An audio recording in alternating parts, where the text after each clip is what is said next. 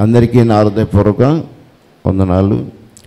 చూడండి ఇర్మియా గ్రంథము ఇరవై ఆరు అధ్యాయం ఐదు వచనం. మీరు నా మాటలు విని మీరు నా మాటలను విని నేను మీకు నియమించిన ధర్మశాస్త్రమును నేను మీకు నిర్మించిన ధర్మశాస్త్రమును అనుసరించి నడుచుకొనడనియు. అనుసరించి నడుచుకొనండని నేను పెందలకడ లేచి నేను పెందల కాడనే లెగిసి పంపుచున్న నా సేవకులకు పంపుసున్న నా సేవకులకు ప్రవక్తల మాటలను ప్రవక్త మాటలను అంగీకరించుడనియు. అంగీకరించండి అనియు నేను మీకు ఆజ్ఞ ఇయ్యక నేను మీకు ఆజ్ఞ ఇవ్వగా. మీరు వినకపోతిరి. మీరు వినటం లేదు.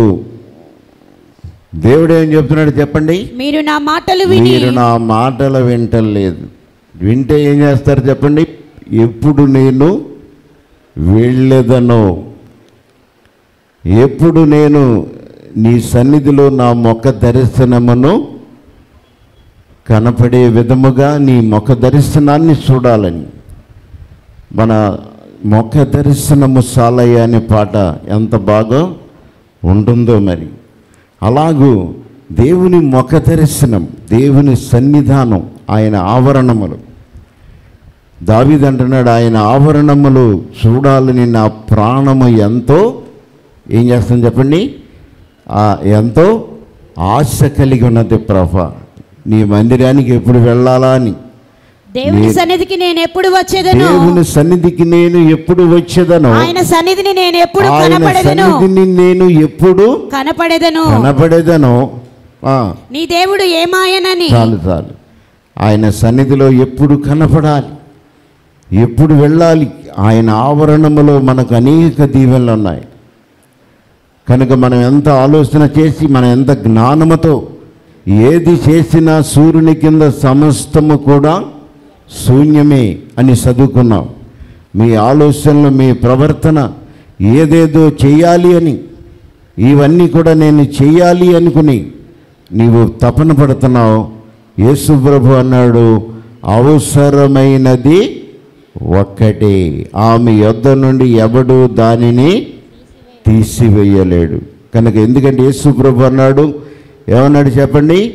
ఆమె అవసరమైన దానిని దాసుకున్నది కనుక ఆమె యొద్ద నుండి ఎవరు దానిని తీసివేయనే తీసివేయలేరు. మార్తా మరి ఆ ఇద్దరు యేసు ప్రభు దగ్గర ఆ ఇంటికి వెళ్ళినప్పుడు ఆ ఇంటిలో ఎవరు చెప్పండి? మరియా.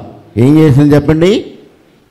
మార్తా మరియా ఇద్దరు కూడా అప్పా చెల్లెళ్ళు వారిద్దరిలో ఒకరైతే యేసు ప్రభు పాదాల యొద్ కూర్చున్నారు. ఒక ఆమె అయితే పని పాటలలో ఆ పనులన్నీ అయినాక యేసు ప్రభు దగ్గర కూర్చోవాలనుకుంటుంది. అమూల్యమైన మాటలన్నీ కూడా ఆమె వచ్చేపాటికి అన్నీ కూడా దాటిపోయినాయి. దేవునికి స్తోత్రము. ఆయన కనుక మార్తా మార్తా నీవు అనేక విషయాల్లో తొందరపడుతున్నావు కానీ మరియా ఉత్తమమైన దానిని ఏర్పరుచుకొని ఉన్నది. ఉత్తమమైనది ఆమె యొద్ద ఉన్నది కనుక అది ఎవన్నడు ఎవరు కూడా ఆమె యొద్ద నుండి దానిని తీసివేయ లేరు. అలాగున్న దేవుడు అంటున్నాడు మీరు నా మాట విని నేను మీకు నియమించిన ధర్మశాస్త్రమును అనుసరించి నడుచుకున్న వలనని నేను పెందల కాళ్ళ లేపి పంపుచున్న నా సేవకుల ప్రవక్తల మాటలు మీరు అంగీకరించుడనియు. అంగీకరించండి అనియు నేను మీకు ఆజ్ఞ ఇయ్యగా. నేను మీకు ఆజ్ఞను ఇవ్వగా. మీరు వినకపోతిరి. నా ఆజ్ఞలను మీరు విననే వినలేదు. వింటలేదు. పెందల కాడని దేవుడు మనకి ఈరోజు ఉదయాన్ని ఇచ్చాడు ఈరోజు మనము ఉదయాన్న ఈరోజు సజీవులుగా లేపపడతామనే నమ్మకం ఉందా మీకు? అనుకుని పడుకుంటాం. రేపు అది చేయాలి ఇది చేయాలి తర్వాత ఎన్నో కొనాలి అనుకుంటాం. దేవుడు నీకు ఆయుష్నిస్తేనే కదా నీవు అవన్నీ చేసేది. కనుక ఈ విషయంలో దేవుడు నీకు ఇంత ఆయుష్నిచ్చి సజీవుడిగా సజీవురాలిగా చేస్తే మొదటిగా నీవు ఆయనకు కృతజ్ఞత తెలియచేయాలి.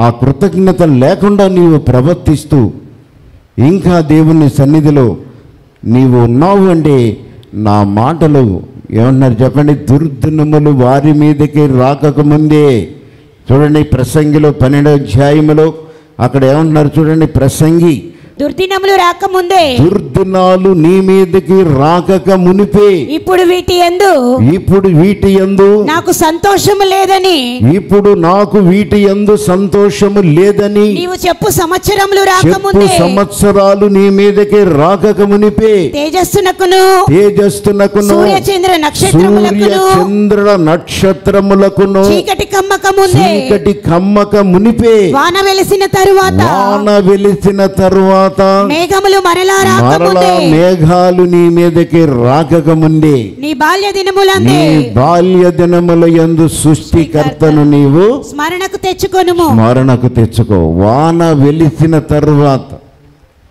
మొన్న ఏం జరిగింది చెప్పండి? సడన్గా అన్నీ కూడా ఊహించకుండానే జరిగిపోయినాయి ఎవరన్నా ఊహించారా? మనకి ఎప్పుడైనా ఎలాంటి వరదలు మనం చూస్తామని అనుకున్నామా? ప్రాణాలే కోలిపోయినాయి నీటి మీద ఒక్కొక్కళ్ళు కూడా కొట్టుకుని వెళ్ళిపోయారు. అలాగనే వారు సంపాదించిన ఆస్తి డబ్బు అంతా కూడా వారు ఎంత కష్టపడి ప్రయాసతో ఆ సుఖాన్ని అనుభవించాలనుకున్నారో కొంతమందికి అవన్నీ కూడా నష్టాలే జరిగినాయి ప్రాణాలు పోయినాయి ఎన్నడూ చూడని ఏం చేసింది చెప్పండి? వాన వెలిచిన తరువాత వరదలు వచ్చినాయి ప్రళయం. దేవుని సోదరము అలా ఏ క్షణము ఏ ప్రళయము నీ మీదకి వస్తుందో ఇది దేవుని సమీపముగా తన బిడ్డలను చిత్తపరుచుకుంటున్న దినాలు. ఈ దినాలు దేవుడు ఏర్పాటు కలిగిన బిడ్డలందరూ సిద్ధపడాలి. ఆ సమయమును చూసి ఆ గడియలను చూసి మీరు మరీ ఎక్కువగా ఏం చేయాలి చెప్పండి? ప్రార్థన చేయుసు సిద్ధపడాలి. మరీ ఎక్కువగా సంపాదించుకోమని కాదు. మరీ ఎక్కువగా దేవుడు రక్షణ ఇచ్చిన తరువాత పగలు నైటు కూడా చేయమని కాదు. ఆ దినము మీకు సమీపించుస్తున్న కొలది మరీ ఎక్కువగా మీరు దేవుని సన్నిధిలో కూడికలో ఉండాలి. ఆత్మీయులుగా ప్రార్థనలో మనము జరగబోయే ప్రతి కీడు తప్పించుకోవటానికి ప్రతి ఒక్క విషయాలలో సిద్ధపడి ఉండాలి అని దేవుడు మనలను కోరుకుంటున్నాడు. దేవునికి స్తోత్రము. అలా ఏదో కాలక్షేపానికి వచ్చి వెళ్ళిపోయినట్టు కాదు. నీ ఆత్మను రక్షించడానికి దేవుడు ఈరోజు నీతో మాట్లాడుతూ ఉన్నాడు. కనుక దుర్దినాలు నీ మీదకి రాకకమునిపే ఏమన్నారు చెప్పండి? నీ పూర్వ దినముల యందు సృష్టికర్తను నీవు స్మరణకు తెచ్చుకొనుము స్మరణకు తెచ్చుకో జ్ఞాపకానికి తెచ్చుకో ఎంత హెచ్చరిక చేస్తున్నాడో. నా కుమారుడా నా కుమార్తె రక్షణ పొందయ్యా. ఈ దినము నీవు కన్ను మూస్తే ఏ లోకానికి వెళ్తావయ్యా? అని దేవుడు హెచ్చరిక చేస్తున్నాడు. ఇంకా సమయం ఉంది నాకు. ఈ లోకంలో సమయం ఉంది అంటున్నావు. ఆ సమయము దాటిపోయిన తర్వాత ఇటువారు అటు అటువారు ఇటు కూడా రావటానికి వీలు లేనే లేని శ్రమలు ప్రారంభమైనప్పుడు నీవు ఎంత మరి కన్నీరు కార్చిన ఆనాడు విసర్తించబడతావని దేవుడు తెలియజేస్తూ ఉన్నాడు. దేవునికి సోదరము హరళ చూడండి రెండో దినవృత్తాంతములు ముప్పై ఆరు అధ్యాయము పదిహేను వస్తున్నాను చూడండి.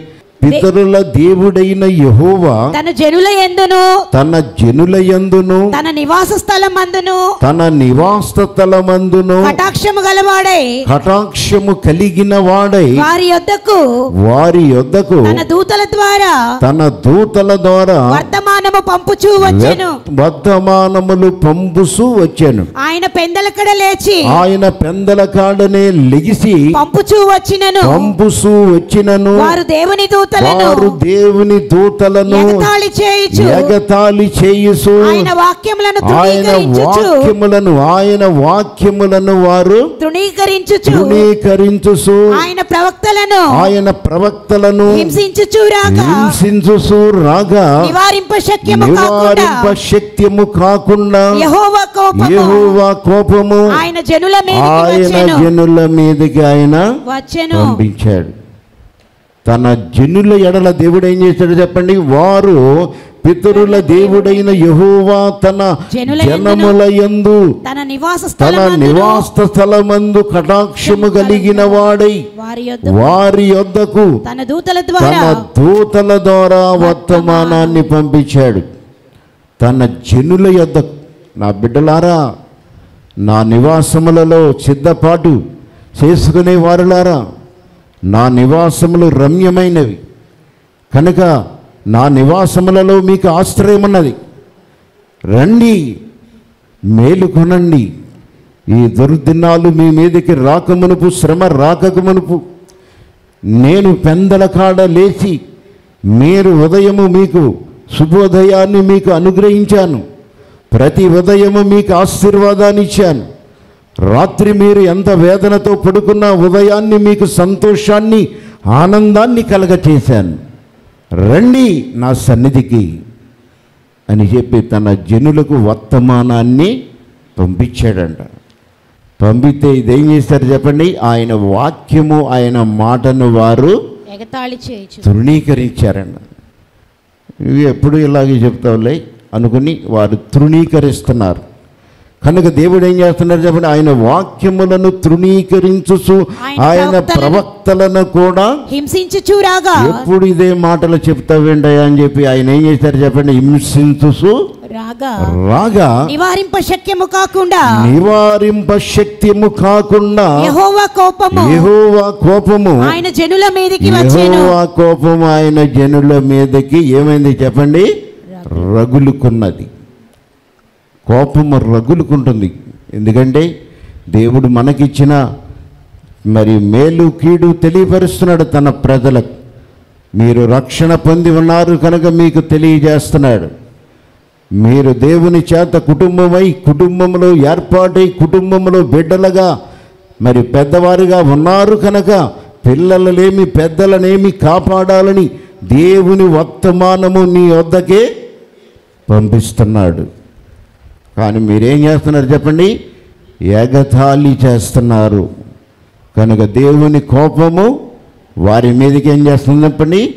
రగులుకుంటుందంట. రగులుకుంటాం అంటే కోపం. ఆ కోపం మన మీదకి వస్తే మనం తట్టుకోగలమా చెప్పండి? ఈ భూమి ఆకాశములు అన్నీ కూడా లయమైపోతాయి. దేవుని సన్నిధిలో ఆయన స్వరము వినగానే పర్వతాలు కరిగిపోతాయి. ఈ భూమి కంపించుద్ది. అలాంటి శక్తివంతుడు ఈరోజు నీ కొరకు చాలా సహనము కలిగి ప్రేమతో నా కుమారుడా నా కుమార్తె నా ఆయుష్నిచ్చానయ్యా నా రూపాన్ని ఇచ్చానయ్యా నా యొక్క ఆలోచనలు నీకు ఇచ్చానయ్యా నా హృదయ తలంపులు నీలో నెరవేరాలయ్యా. ఆ దురాత్మ క్రియలు నీలో తొలగించాలయ్యా. ఆ దురాలోచనలు నీలో పోవాలయ్యా అని చెప్పి నీ కొరకు తన ప్రవక్తలను పెందలకాడ నీ ఆలోచనలు మార్చాలి అని. నీ ప్రవర్తన మారాలి అని ప్రభు నీతో మాట్లాడుతున్నాడు. చూడండి ఒకటో దశలోనికి ఐదో అధ్యాయము ఇరవై మూడో వచనం. ఐదో దేవుడే. సమాధానకర్తయగు దేవుడే. మిమ్మును సంపూర్ణముగా. మిమ్ములను సంపూర్ణునిగా. పరిశుద్ధ పరిచునుగాక పరిశుద్ధ పరుసునుగాక మీ ఆత్మయు. మీ ఆత్మయు. జీవమును. మీ జీవమును శరీరమును శరీరమును మన ప్రభు అయిన యేసుక్రీస్తు మన రాకడయందు ప్రభు అయిన యేసుక్రీస్తు రాకడయందు నిందారహితముగాను మీరు నిందారహితముగాను సంపూర్ణముగాను ఉండునట్లు సంపూర్ణులుగా ఉండునట్లు కాపాడబడును గాక మీరు కాపాడబడాలి అని. మీరు ఆయన ఏమన్నారు చెప్పండి? సమాధానకర్తయగు దేవుడు మిమ్ములను సంపూర్ణులుగాను పరిశుద్ధ పరిశుద్ధ పరుసును గాక.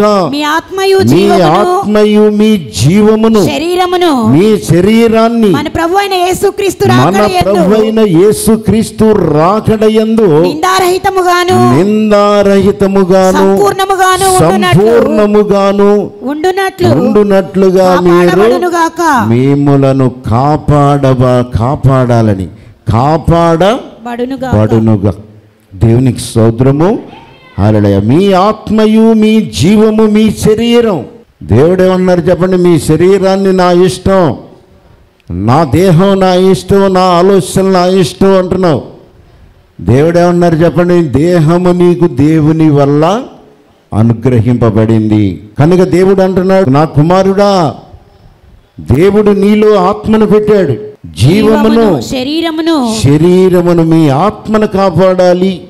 మీకు జీవాన్ని ఇవ్వాలి మీ శరీరాన్ని కూడా ఆయన కాపాడాలని. మిమ్మలను కాపాడాలని. ఎందుకంటే మీ ఆత్మను కాపాడుతున్నప్పుడు మీ శరీరం దానిలో అంటుకట్టుకున్నది కదా. కనుక మీ శరీరాన్ని కాపాడాలి మీ జీవాన్ని కాపాడాలి. మీలో ఉన్న ఆ ఆత్మను కూడా దేవుడు రక్షించాలి. ఆ దినాలలో రాబోయే దినాలలో దేవుడు మిమ్మల్ని తప్పకుండా కాపాడబడుదురుగాక. దేవునికి సోదరము అలా మనము దేవుని సన్నిధిలో కాపాడబడాలి. ఈ శరీరాన్ని పవిత్రంగా ఉంచుకోవాలి. నీ ఆత్మను కాపాడుకోవాలి. నీ ఆత్మ ఎక్కడికి వెళ్ళిపోయేటప్పుడు నరకానికి వెళ్ళకుండా దేవుడు నీ ఆత్మను కాపాడుకునే శక్తిని నీకు అనుగ్రహించాడు. కనుక నీ శరీరాన్ని ఇష్టానుసారంగా వాడుకుని నా ఇష్టం నా శరీరం అని చెప్పి నీ ఇష్టముగా వాడుకుంటే నీ ఆత్మ ఏమొద్దు చెప్పండి అది నరకానికే పోతది కనుక. దేవుడు అంటున్నాడు నరకానికి పోకుండా నా కుమారుడా నీ ఆత్మను జీవమును శరీరమును కాపాడాలని దేవుడు ఎంతో వేదన పడుతున్నాడు. నీ కొరకు ఆయన పరితపిస్తున్నాడు. నీ కొరకు వేదన పడుతున్నాడు దేవుడు అన్నాడు నా కుమారుడా నీ శరీరము నీ ఆత్మ కాపాడబడాలండి. నా ఆజ్ఞలను నీవు గైకొను ఆది కాండములో దేవుడు ఏమన్నారు చెప్పండి? ఆదాముతో ఒకటి ఒక మాట చెప్పాడు. రెండవ వచ్చిన పదహారు చూడండి రెండో అధ్యాయం పదహారు దేవుడైన యెహోవా. పదహారు వచనం చూడండి. మరియు దేవుడైన యెహోవా. మరియు దేవుడైన యెహోవా. ఈ తోటలోనున్న మా? ఈ తోటలోనున్న ఈ తోటలో ఉన్న ప్రతి వృక్ష ఫలములను. ప్రతి వృక్ష ఫలములను నీవు నిరభ్యంతరంగా తినవచ్చును. నీవు నిరభ్యంతముగా తినవచ్చును. అయితే అయితే మంచి చెడుల తెలివినిచ్చు. మంచి చెడ్డలు తెలివినిచ్చు. వృక్ష ఫలములను తినకూడదు. వృక్ష ఫలములను నీవు తినకూడదు. తినకూడదు. నీవు వాటిని తిని తినమున నీవు వాటిని తిను దినమున నిశ్చయముగా చచ్చేదవని. నీవు నిశ్చయముగా ఆత్మలో చచ్చేదవని. చచ్చిపోతావు. దేవుడు నిన్ను సృష్టించింది చనిపోవటానికి కాదు. బ్రతకాలి అని. మరి ఆదాము అవ్వలు ఎన్ని సంవత్సరాలు బ్రతికారో తెలియదు. వారు దేవుని మాట విననప్పుడు వారు ఆత్మలో చనిపోయారు. శరీరానుసారంగా కూడా చనిపోయారు క్షీణించిపోయారు జీవము లేకుండా అయిపోయారు దేవుడిచ్చిన వృక్ష ఫలాలు తిన్నారు ఆ ఫలాలకు దూరం అయిపోయారు. తర్వాత దేవుడు ఇచ్చిన ఆ ఆయుష్కాలము జీవాన్ని పోగొట్టుకున్నారు. ఆ తర్వాత శరీరానికి భయంకరమైన శోధనలను తెచ్చుకున్నారు. దేవుడు ఏది చెప్పాడు చెప్పండి? మీరు అన్ని రకాల పళ్ళు తినండి. అన్ని రకాలుగా మీరు ఆరోగ్యముగా ఉండండి. కానీ తోటలో ఉన్న ఆ పండు మాత్రము తిను తినమన మీరు చనిపోతారు. ఆ మాట దేవుని మాట అది కనుక దేవుడు అన్నాడు ఆ పండు ఏదైతే చేయొద్దని దేవుడు నీతో చెప్పాడో అది చేసినప్పుడు నీకు మరణమే. కనుక ఆ మరణం నుంచి నిన్ను కాపాడాలని దేవుడు ఏం చేస్తున్నాడు చెప్పండి? సమాధానకర్తయ్యకు దేవుడు నిన్ను మరలా కాపాడాలని నీ ఆత్మను కాపాడాలని నీ శరీరాన్ని కాపాడాలని నీ జీవమును కూడా ఆయన కాపాడాలని. దేవుడు ఈ లోకాన్నిలో నేను ప్రేమిస్తూ నీ వద్దకు వచ్చాడు. ఒకటో కొరింది మూడో అధ్యాయము పదహారు వచనం చూడండి. నీ ఆలయమై ఉన్నారని మీరు దేవుని యొక్క ఆలయమై ఉన్నారని. దేవుని ఆత్మ. దేవుని ఆత్మ. మీలో నివసించుచున్నాడనియు. దేవుని ఆత్మ మీలో నివసించుస్తున్నాడని. మీరు ఎరుగరా మీరు ఎరుగరా? ఎవడైనను? ఆ, ఎవడైనను? దేవుని ఆలయమును పాడు చేసి దేవుని ఆలయమును పాడు చేస్తే దేవుడు వానిని పాడు దేవుడు. వానిని పాడు చేయును. పాడు చేయును. దేవుని ఆలయము. దేవుని ఆలయము పరిశుద్ధమై ఉన్నది. పరిశుద్ధమై ఉన్నది. మీరు ఆ ఆలయమై ఉన్నారు. మీరందరూ కూడా దేవుని యొక్క ఆలయమై ఉన్నారు. ఆలయమై ఉన్నారు. దేవుని స్వరూపములో మిమ్మల్ని చేసుకున్నాడు. మీలో ఆయన ఊపిరి ఉంచాడు. మీరు నాకు దేవుడే ఉన్నారు చెప్పండి? మీరు నాకు పరిశుద్ధమైన ఆలయముగా ఉన్నారు. మీలో ఆయన సన్నిధిని ఉంచాడు. మీలో ఇంత జ్ఞానం ఉన్నది అంటే మంచి చెడు మీరు ఆలోచిస్తున్నారు అంటే దేవుని ఆత్మ మీలో ఉన్నాడు కనుక. దేవుని ఆత్మ మీలో ఉన్నది కనుక మీరు దేవుని సొత్తయ్యే ఉన్నారు కనుక. భూమి ఆకాశములను సర్వ సృష్టి నోటి మాటతో కలగ చేసిన దేవుడు. మహిమ కలిగిన దూతలను కలుగునుగాక అంటే కోట్ల కొలది మహిమ కలిగిన దూతలు నోటి మాటతోనే కలిగారు. కానీ నీవు అలాగూ సృష్టించబడలా. నీవెలా సృష్టించబడ్డావు చెప్పండి? దేవుని స్వరూపములో దేవుని రూపములో దేవుని ఆత్మ నీలో ఉంచి ఆయన సంతోషిస్తున్నాడు ఈరోజు. నీలో ఉన్నది దేవుని యొక్క ఆత్మ దానిని ఎన్నడూ మీరు దుఃఖపరచకండి. దేవునికి స్తోత్రము.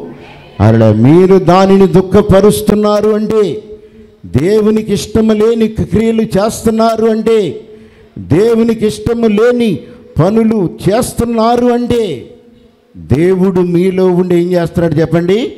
ఆయన ఆత్మను మీరు దుఃఖపరుస్తున్నారు. కనుక మీకు క్షేమము లేదు. కనుకనే దేవుడు ఎంతగానో మీ పక్షాన నా పక్షాన ప్రేమ కలిగిన దేవుడు సమాధానకర్త అయిన దేవుడు ఏం చేస్తున్నాడు చెప్పండి? మీ ఆత్మను కాపాడాలని సమాధానకర్తగా మరలా వచ్చాడు. దేవునికి సోదరము అరడ కనుక సమాధానకర్తగా వచ్చాడు. ఆయన మిమ్మలను పరిశుద్ధులుగా చేశాడు. మీరు పరిశుద్ధులు పరిపూర్ణులుగా చేశాను. కానీ మీకు ఇష్టమైన ఆలోచనలతో నడిచి ఆ పరిశుద్ధతను మీరు పోగొట్టుకున్నారు. కనుక మీరు దేవుని ఆలయమై ఉన్నారు పరిశుద్ధుడై ఉన్నారు.